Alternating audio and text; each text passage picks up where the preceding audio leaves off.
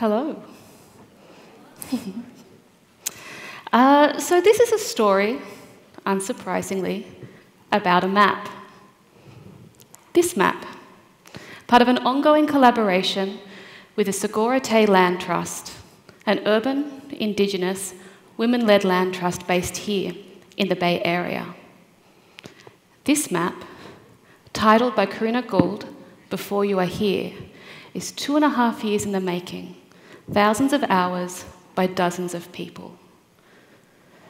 Most of us, we're pretty used to looking at maps. We see them every day on our phones, we see them on bus stops, we see them in our bookstores. A non Indigenous Australian, it's me, born in Darkinjung country, as a professor and a cartographer here at UC Berkeley, my job is pretty much maps. I was introduced to Sogorea in 2021 through the Berkeley Centre for New Media's Indigenous Technologies program. Sogorea Te' were interested in seeing whether or not a map could be made of the Bay Area which better represented from an Ohlone, or specifically Sogorea perspective. Making a map of native land is never an easy task. We're used to seeing maps of the bay that look particularly like this. But what is perhaps less familiar than this particular kind of map is that these, these maps enact particular worldviews which are deeply rooted in centuries of settler colonialism. Now, what do I mean by that? Really simply, these maps are the inheritors of the first maps made by Europeans of the Bay Area. People who came here, who were not from here, when there were already people here, Ohlone people. And specifically here in the East Bay, the Chochenyo speaking people of Huichin, whose land we are on. It's really difficult as well to colonise without using maps. Maps were used during the Spanish and the Mexican era, and by the US to identify fertile land for agriculture, mineral deposits for mining, and to lay out plans for towns and even universities. But of course, every culture maps. The Rebbelib charts of the Marshall Islanders use sticks and shells to show the currents and islands. The star compasses of the Carolinian navigators and their hand measurements help them follow the stars across the Pacific Ocean. Driftwood, hand carved by Inuit people, helps them to trace the coastlines of Greenland in the dark by feeling the edges. And the songs of Indigenous Australians help map enormous desert spaces, songs that can be sort of tied together and traced for thousands of kilometres. Now, learning to read these maps, like all maps, requires decades of training and experience. But the difference between these maps and other or most non Indigenous maps is that these maps are developed from the places that they map. And so they use systems and language that are deeply attuned to those particular environments. And so, in approaching this map, the first question we ask Sogorea is what are we mapping and why? We think maps are mostly about truth and accuracy, but the biggest challenge for cartographers is that the world is constantly shifting and changing. And we can't map everything in the world as it transforms, otherwise, that map would just be the world. And so the way that cartographers deal with this is by freezing the world and then extracting selected information, such as rivers or roads, or in this case, rocks, and presenting a particular version of that world. And so we asked Sogorea Te' which version of the world did they want us to present? Sogorea Te' are Ohlone led, but they're intertribal and multicultural, working to restore reciprocal relationships with the sacred land that we live on and the plants, animals, and other human beings that we share the land with. Much of this work happens through rematriation, that is, Indigenous women led work that seeks to facilitate the return of land to native hands and stewardship. They have a growing collection of project sites, such as these two, where they work to restore native plants, grow food, and undertake cultural revitalisation through language, environmental knowledge, and cultural practice.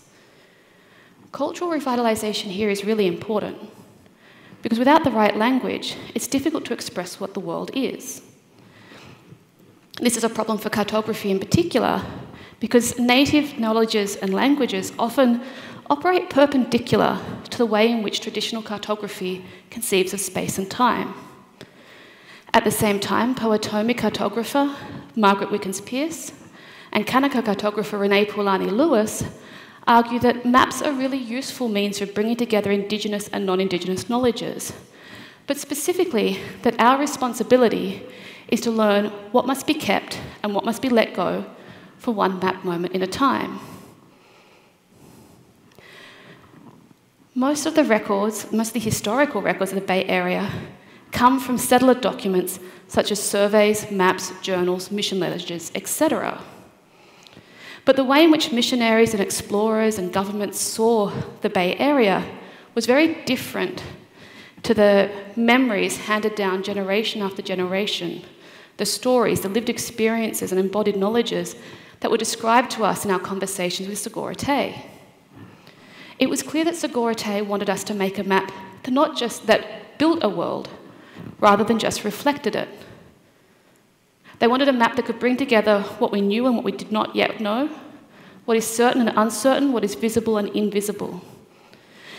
And so rather than a kind of cartographic project, we began to approach Before You're Here as more of a cosmography, a way of worlding. And in doing so, in relinquishing cartography, we were able to craft a different kind of map that questions not just what we know, but how we know. And of course, the next question is not just what we are making a map of and why, but how should we go about making that map? For cartographers, it's mostly about questions of projection and orientation. Now, if you've ever looked at a map like this and wondered why Antarctica is so stretched out, or why Europe and North America is at the top, that's a question of projection. Projection determines how the map is arranged and from where we measure. Most mapping software uses uh, coordinate systems that measure from the point at which the equator intersects with the prime meridian, which runs through the Royal Naval Observatory in Greenwich in the UK. Now, Sogorea Te' were not too thrilled about having their worldview measured from the heartland of the British Empire, fair, and asked us to instead measure from Lisjan, the first rematriated site down near San Leandro Creek in Oakland. But when we asked them, yeah, so what should be on the top? They answered our question with another question Why do there have to be a top at all? Now, there are some maps that don't have tops, mostly of the polar regions, but trying to make a map of the Bay Area without a top pretty much broke all the cartographic software that we owned. And so we returned literally to the drawing board and spent months starting with the Lisjan at zero zero, stretching, warping, reorienting, deorienting, reprojecting the shoreline of the bay into a map that looked like this. Strange kind of planet. The next question was perspective. From where should we look? And again, they turned it back on us. Why must we only look from one place? Again, cartographic software broke. And so we spent more months going through historical surveys and sketches of the hills around the bay to be able to craft a map that was able to combine the top down view of the shoreline with a bird's eye perspective of the hills, so you can look down and across from all angles from Lisjan. And then we combine that with a third perspective up. Tay were adamant that we had to include the importance of seasons to Ohlone life. The seasons depicted through the stars embody not just the circularity of seasons, but also the way in which Janella LaRose describes them as bearing witness to the ongoingness of settler colonialism.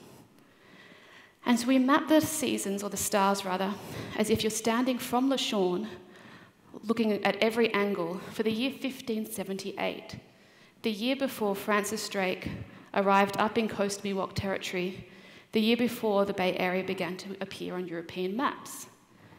It runs anti clockwise, starting with the winter solstice over Tushtuk or Mount Diablo, before going on to the fall equinox, the summer solstice, and the spring equinox.